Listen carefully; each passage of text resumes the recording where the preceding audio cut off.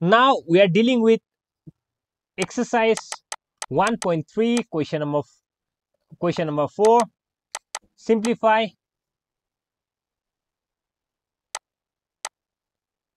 Roman number 9 the question says simplify 2 root 2 to root 3 into 3 root 2 we are going to simplify this one. There is a sign of multiplication sign over there. Solution what you sorry what are you going to do here? Look. This 2 root 3 3 root 2 multiply whole number into whole number and this root number into root number. So 2 3 is 6 root over 3 into 2 6 it is 6 root 6 simple. That is your answer let me do another question even. Let me do roman number 10 simplify roman number 10 exercise 1.3 roman number 10 8 root 12 into 3 root 24 solution? Look here.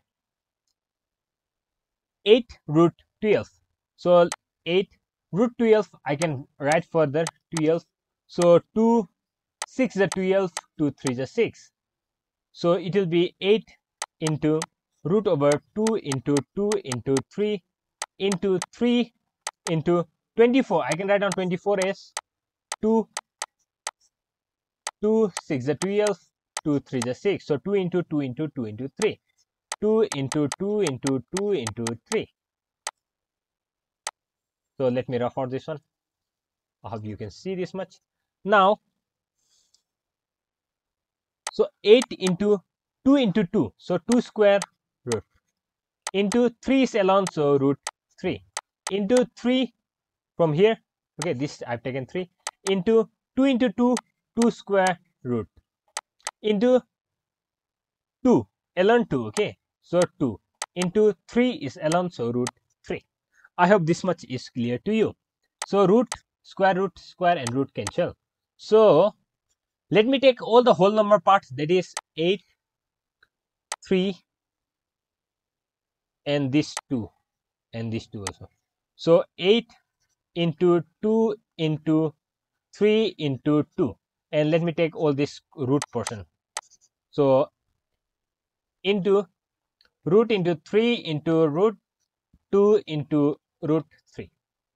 Now 8 to the 16 16 to the 32 32 into 3 3 to the 6 3 to the 9 so it is 96 wait wait wait wait a moment wait a moment. So 8 into 2 into 3 into 2 into root 3 into root 3 this also will become root 3 square right? So let me refer this one and write so root 3 square square and root cancel. Okay so it is 3 into root 2 now if you multiply all these 96 into 3 if you multiply all this you'll get 6 3 is 18 9 3 is 27 28 you'll get 28 288 root 2 this is your answer. Thank you so much. If you don't understand please write down in the comment below. We'll meet in the next video